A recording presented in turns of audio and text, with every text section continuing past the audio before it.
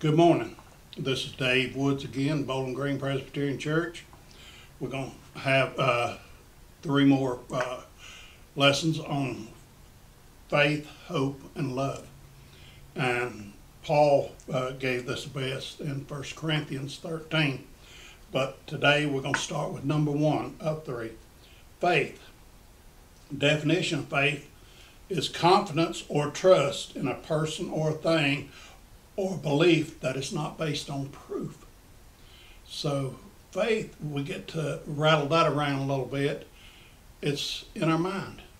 Faith is something that we have to uh, thrive for, to hope for, to dream for. But first, we're going to start with a, a lighter side. Said a young blonde was on vacation in Louisiana. She wanted a pair of alligator shoes, but reluctant to pay the high New Orleans prices. I'll just catch my own alligator, she told one shopkeeper, so I can get a pair of shoes for free. She stomped out of the store and headed for the swamp. Later, as the storekeeper drove home, he spotted the, bron- the blonde standing waist deep in the bayou, shotgun in hand, with a huge alligator closing in. She took aim and shot the creature right between the eyes. The storekeeper watched in amazement as she struggled to haul the carcass onto the embankment where several other dead alligators were lined up. Oh no, the blonde shouted in dismay. This one isn't wearing any shoes either.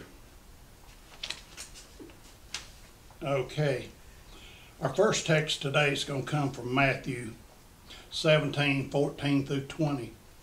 When they returned to the, uh, to the crowd, a man came to Jesus, knelt before him, and said, Sir, have mercy on my son. He's an epileptic and has such terrible attacks that he has often fallen in fire and into water. I brought him to your disciples, but they could not heal him. Jesus answered, How unbelieving and wrong you people are. How long must I stay with you? How long do I have to put up with you? Bring the boy here to me. Jesus gave a command to the demon, and it went out of the boy. And at that very moment, he was healed. Then the disciples came to Jesus in private and asked him, Why couldn't we drive the demon out?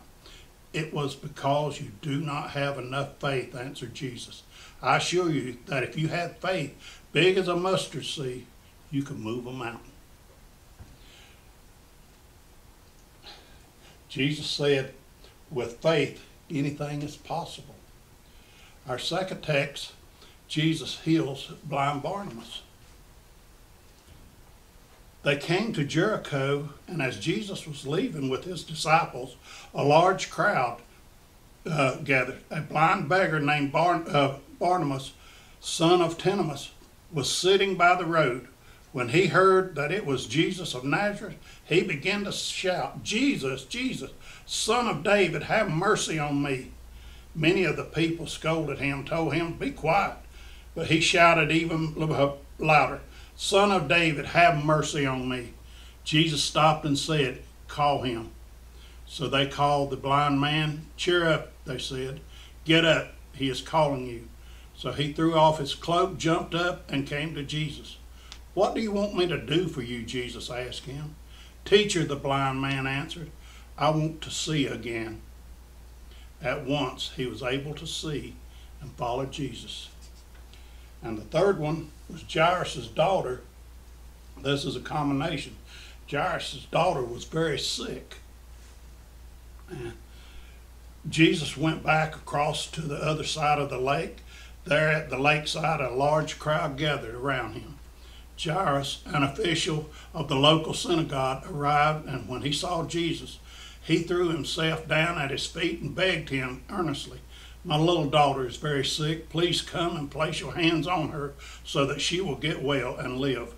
Then Jesus started off with him to Jairus' house. So many people were going along with Jesus that they were crowding him from every side. There's a woman who had a, a, suffered terribly from a problem for 12 years. Even though she had been treated by many doctors, she had spent all of her money, but instead of getting better, she got worse all the time. She had heard about Jesus, so she came in the crowd behind him, saying to herself, If I could just touch his clothes, I will get well. She touched his cloak, and her problem stopped instantly, and she had the feeling inside herself that she was healed of her trouble. At once, Jesus knew that the power had gone out of him, and he turned around in the crowd and asked, Who touched my clothes? His disciple answered, You see how the people are crowding around you? Why do you ask who touched you? But Jesus kept looking around to see who had done it. The woman realized what had happened to her, so she came trembling with fear, knelt at his feet, and told him the whole truth. Jesus said to her, My daughter, your faith has made you well. Go in peace. And he healed her of her troubles. While Jesus was saying this, some messengers came to Jairus and told him that her, his daughter had died. Jesus paid no attention to that. What they said, don't be afraid, only believe. Then ye did accept Peter and James and his brother John.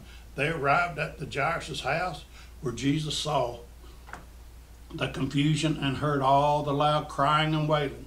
He went in and said to them, Why all this confusion? Why are you crying? The child is not dead, she's only sleeping.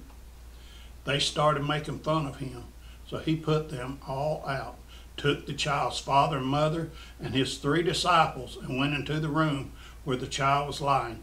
He took her by the hand and said to her, Talitha cum, which means little girl, I tell you to get up.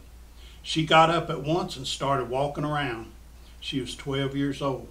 When this happened, they were completely amazed, but Jesus gave them strict orders not to tell anyone, he said, give her something to eat. Jairus had faith enough in Jesus that he could, that Jesus could save his daughter. The woman had faith enough in Jesus, all she had to do was just touch his garment and she'd be healed. And we learned the faith on blind Barnabas. He'd just heard about Jesus. He had faith. He knew that Jesus could touch him and he'd be healed. So we got to have faith, each and every one of us. Faith can move mountains. It can move us. Let's have a prayer. Our Heavenly Father, please give us the faith we need to keep uh, staying on the path of righteousness to come to you. Bless each and every one that hears this, and may they keep the faith, the love, and hope that always surrounds us and from you. In Christ's name we pray. Amen.